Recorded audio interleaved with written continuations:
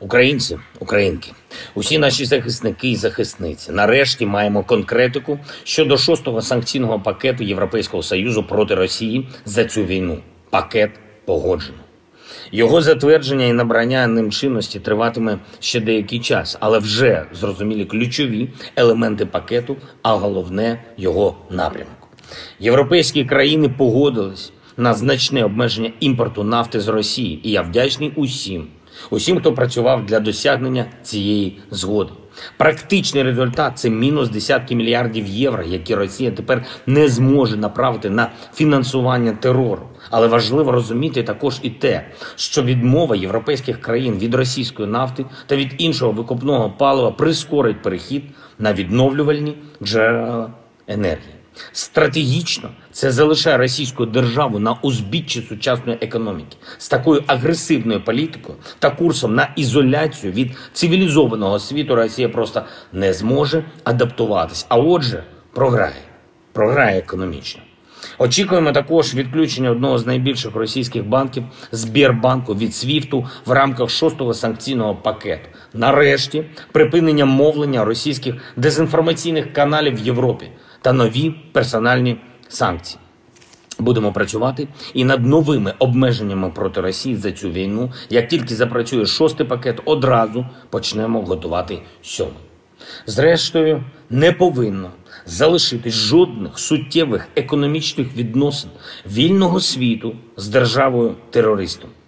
Подальшу санкційну політику Європейського союзу обговорив з президенткою Словаччини Зузанною Чапутовою. Я вдячний їй, нашому справжньому другу, другу України, за сьогоднішній візит в Київ, за предметні переговори і за надихаючий виступ у Верховній Раді України. Словаччина з перших днів повномасштабної війни стала одним з наших найважливіших партнерів в оборонній сфері, і будемо продовжувати цю співпрацю. Говорили сьогодні і про європейський рух України. Пані Зузана особисто допомагає прискорити інтеграцію нашої держави, і ми завжди будемо за це вдячними. Готуємо рішення для більш ефективного управління процесами на кордоні наших держав, зокрема спільний митний контроль. На початку візиту в Україну президентка Словаччини відвідала Ірпінь і Бородянку і на власні очі побачила руйнування, зроблені російською армією. Кожного і кожного, хто бачить це на власні очі, вже не треба переконувати, чому Росія має понести максимальну відповідальність за цю війну. Я вірю, що Словаччина надасть всю необхідну допомогу, щоб притягти до відповідальності усіх російських воєнних злочинців та щоб відбудувати після війни усе, усе, що вони зруйнували.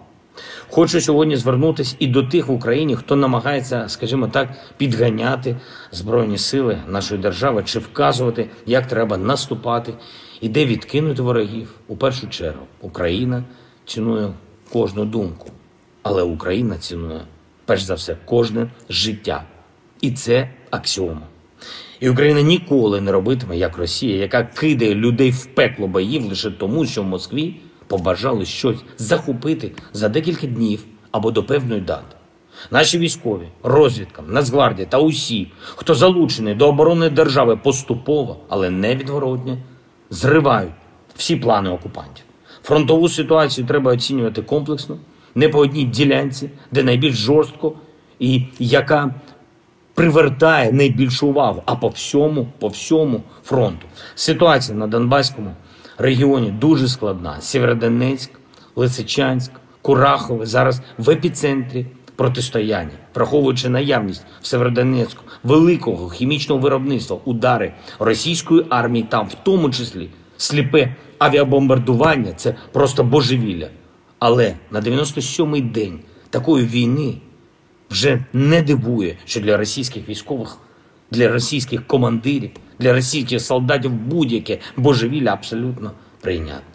На Херсонському напрямку маємо певні успіхи, як і просування на Харківщині. Збройні сили України стримують тиск окупантів Запорізької області. Ключовий напрямок Гуляйполе та Оріхове. У цій широкій картині треба бачити, що наші захисники і захисниці проявляють максимальну хоробрість і залишаються господарями фронтової ситуації, попри те, що у російської армії досі значна перевага в техніці та кількості. Звичайно, кожному в Україні хочеться, щоб всі наші території, всі наші люди були звільнені вже сьогодні, якнайшвидше. Повне відновлення територіальної цілісності нашої держави це наша мета. Але діяти треба обережно цінуючи життя. Кожен і кожна на всіх рівнях мають бути зараз лобістами постачання нашій державі сучасної важкої зброї, сучасної артилерії, усіх тих систем, які дійсно можуть прискорити перемогу України.